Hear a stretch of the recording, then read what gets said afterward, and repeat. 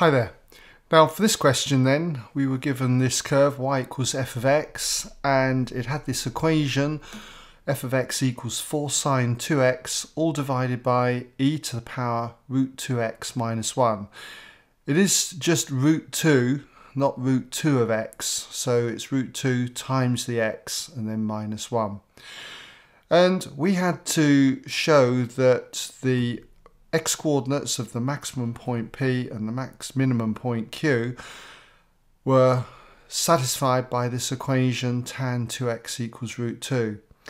Now I'm going to take you slowly through this solution but some of you might want to fast forward to the end and you'll see all the working okay now in order to find out max and min points what we need to do is realize that the gradient at the point P and Q is zero. So we need to differentiate this equation with respect to x and make it equal to zero. And then if we solve that equation, hopefully it will take us down to tan 2x equals root 2. Now, when it comes to differentiating this, we've got two functions of x being divided by one another, so we've got to use the quotient rule. And I'm assuming that you're familiar with the quotient rule. If not, do go back and check out my video tutorials on that. Okay, now I'm going to remove this graph here because it's just going to be in the way, so just take that out. So when it comes to differentiating this with respect to x, we'll put that as f dash x or f prime x as some of you might call it. Okay, the first differential of f of x with respect to x. So when it comes to using the quotient rule then, we take the denominator, in this case e to the power of root 2 multiplied with the x minus 1. So we take the bottom of the fraction, I'll put that in brackets, and we multiply it by the differential of the top. So we need to differentiate 4 sine 2x with respect to x. And for this, you should know the result straight off. It's going to be 8 cosine 2x, but we do it by the chain rule. And the chain rule, remember, is basically dy dx equals dy by dt times dt dx. It's as if these dt's cancel, leaving you with dy by dx. So for 4 sine 2x, if we were to let y equal 4 sine 2x and t equal the 2x here, you'd get y equaling 4 sine t. And so we need to do dy by dt first of all. And if you differentiate 4 sine t with respect to t, you're going to get 4 cosine t. And we fill the t in with the value 2x. So we end up with dy dt equaling 4 cos 2x. And next we need to do dt by dx. And if you differentiate t with respect to x, we've got t equaling 2x here. Differentiate it with respect to x, you just get 2. So dy by dx is to multiply those two results together. 4 cos t, or I should say 4 cos 2x, with the 2. So you're going to get 8 cosine 2x.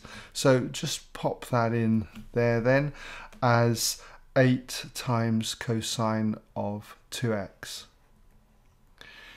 As I say, you should be able to differentiate that really straight off and get this result here. But otherwise, the slow approach then is to break it down like this using the chain rule. So back to the quotient rule. Remember, it's the bottom of the fraction times the differential of the top, which we've just done. And then it's minus, and we do it the other way round. We take the top of the fraction, which is 4 sine 2x, and we now multiply it by the differential of the bottom of the fraction, the denominator. And again, to differentiate this, we would use the chain rule. I would let t equal the root 2x minus 1. So it'd have y equals essentially e to the power t here. And if you differentiate e to the power t, you get e to the power t. So that would be e to the power t, t being the root of 2 times the x minus 1. and then we multiply it by the differential of what we called t. The differential of root 2x minus 1 with respect to x would just be root 2. So I'll put that in there as root 2. So I'm showing you how I would differentiate that using the chain rule just off the top of my head. But I'll take you through that one more time. Chain rule then, dy dx equals dy dt dt dx. I let y equal e to the root 2x minus 1 and t is the root 2x minus 1. So I've got y equals e to the power t. I differentiate y with respect to t, so I differentiate e to the t with respect to t and I get e to the t. And replacing t with the root 2x minus 1 as we had here, you get dy dt equals e to the power root 2x minus 1. Then we need to do dt dx, differentiate t with respect to x up here, and you just get root 2. So all I'm doing is multiplying these two results together to give me essentially the differential of e to the power root 2x minus 1. And there it is up there. Okay? So we're still with the quotient rule. We now put all of this result over the denominator squared. So as I say, do check the quotient rule out if you're unfamiliar with it. Okay, I've got some tutorials on that. So we take the denominator e to the power root 2x minus 1 and we square it. Okay. Now I'm going to clean this up. What I notice is that I've got e to the power root 2x minus 1 as a common factor on the top and so I can divide it out with one of these results here okay? I've got that squared. So I can just divide through by e to the power root 2x minus 1 that will cancel, that will cancel, and I can take it out here, okay, as it's a factor of that. Now we can just tidy this up and we've got 8 cosine of 2x and then for this one we've got minus 4 times that root 2 so that'll be minus 4 root 2 and then the sine of 2x and all of this is over e to the power root 2 x minus 1. Okay? Now, this gives us the gradient at any point on the curve. We're looking for the maximum and minimum points, and we know that that's when the gradient, which is given by f dash x or f prime x equals 0.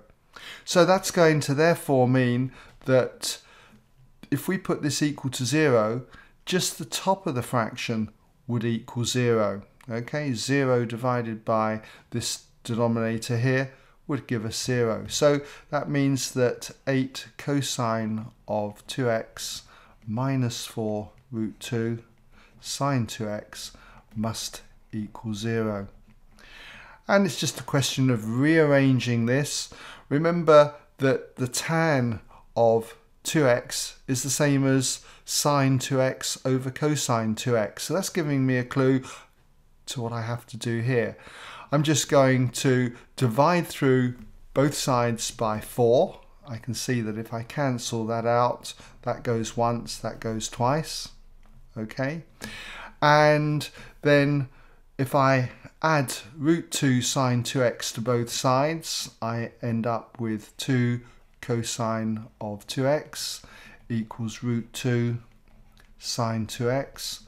And now if I divide both sides by root 2 and cosine 2x, I end up with 2 divided by root 2 equals sine 2x over cosine 2x. And from this, we should see that sine 2x over cosine 2x then is tan of 2x and root 2 will go into 2 root 2 times. So it follows that we get this result here. Okay?